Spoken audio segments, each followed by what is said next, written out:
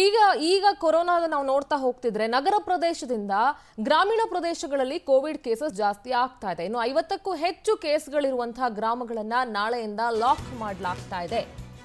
ನಗರ ಪ್ರದೇಶಕ್ಕಿಂತ ಗ್ರಾಮೀಣ ಪ್ರದೇಶಗಳಲ್ಲಿ ಕೊರೋನಾ ಸೋಂಕಿತರ ಸಂಖ್ಯೆ ಜಾಸ್ತಿ ಆಗ್ತಾ ಇರೋದ್ರಿಂದ ಐವತ್ತಕ್ಕೂ ಹೆಚ್ಚು ಕೇಸ್ಗಳಿರುವ ಗ್ರಾಮಗಳನ್ನು ನಾಳೆಯಿಂದ ಲಾಕ್ ಮಾಡಲಾಗುತ್ತೆ.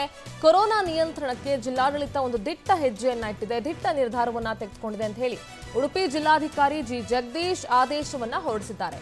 ಜೂನ್ ಏಳರವರೆಗೂ ಕೂಡ ಸಂಪೂರ್ಣ ಲಾಕ್ಡೌನ್ ಇರುತ್ತೆ. ಐವತ್ತಕ್ಕೂ ಹೆಚ್ಚು ಕೇಸ್ಗಳಿರುವಂತಹ ಗ್ರಾಮಗಳು. ನೂರ ಅರವತ್ತೈದು ಗ್ರಾಮಗಳ ಪೈಕಿ ಮೂವತ್ಮೂರು ಗ್ರಾಮಗಳು ಸಂಪೂರ್ಣ ಲಾಕ್ಡೌನ್ ಆಗಲಿವೆ. ಮೆಡಿಕಲ್ ಶಾಪ್, ಕೃಷಿ ಚಟುವಟಿಕೆಗೆ ಮಾತ್ರ ಅವಕಾಶವನ್ನ ನೀಡಲಾಗಿದೆ. ಬೇರೆ ಯಾವುದೇ ಚಟುವಟಿಕೆಗೂ ಕೂಡ ಇಲ್ಲಿ ಅವಕಾಶವನ್ನ ಮಾಡಿಕೊಟ್ಟಿಲ್ಲ. ಗ್ರಾಮದ ಗಡಿಯಲ್ಲಿ ಪೊಲೀಸರು ಈಗ ಬ್ಯಾರಿಕೇಡ್ ಅನ್ನ ಅಳವಡಿಸಿದ್ದಾರೆ.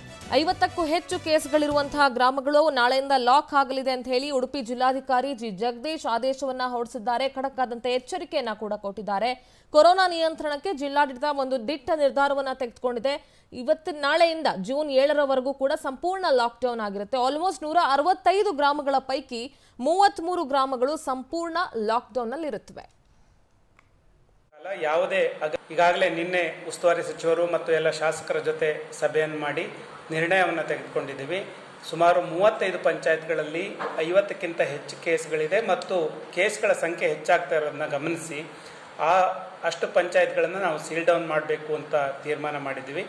ಅಲ್ಲಿ ಮುಂದಿನ ಐದು ದಿನಗಳ ಕಾಲ ಯಾವುದೇ ಅಗತ್ಯ ವಸ್ತು ಖರೀದಿಯಾಗಲಿ ಇತರ ಚಟುವಟಿಕೆಗಳಿಗಾಗಲಿ ಅವಕಾಶ ಕೊಡೋದಿಲ್ಲ ಅಂತ ಈಗಾಗಲೇ ಹೇಳಿದ್ವಿ.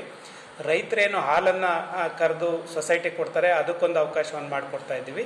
ಅದು ಬಿಟ್ಟರೆ ಮೆಡಿಕಲ್ಗೆ ಸಂಬಂಧಪಟ್ಟಂಥದ್ದು, ಮೆಡಿಕಲ್ ಶಾಪ್ಗಳಿರ್ಬೋದು, ಮತ್ತು ಡಾಕ್ಟರ್ ಶಾಪ್ಗಳಿರ್ಬೋದು, ಇವುಗಳಿಗೆ ಮಾತ್ರ ಅವಕಾಶವನ್ನು ಕೊಡಬೇಕಂತ ಹೇಳಿದ್ದೀವಿ ಈಗಾಗಲೇ ಸಿ ಇ ಅವರು ಮತ್ತು ನಾನು ಎಲ್ಲ ಪಂಚಾಯತ್ನ ಅಧ್ಯಕ್ಷರು, ಉಪಾಧ್ಯಕ್ಷರು, ಕಾರ್ಯಪಡೆಯ ಸದಸ್ಯರು ಪಿ ಡಿ ಒಗಳ ಜೊತೆಗೆ ವಿಡಿಯೋ ಕಾನ್ಫರೆನ್ಸ್ ಮಾಡಿ ಸೂಚನೆಯನ್ನು ಕೊಟ್ಟು ಎಸ್ ಇದ್ರ ಬಗ್ಗೆ ಮತ್ತೊಂದಷ್ಟು ಮಾಹಿತಿಯನ್ನು ಪಡ್ಕೊಳ್ತಾ ಹೋಗ್ತೀನಿ ನನ್ನ ಕರೆಸ್ಪಾಂಡೆಂಟ್ ಅಶ್ವಥ್ ಜೊತೆ.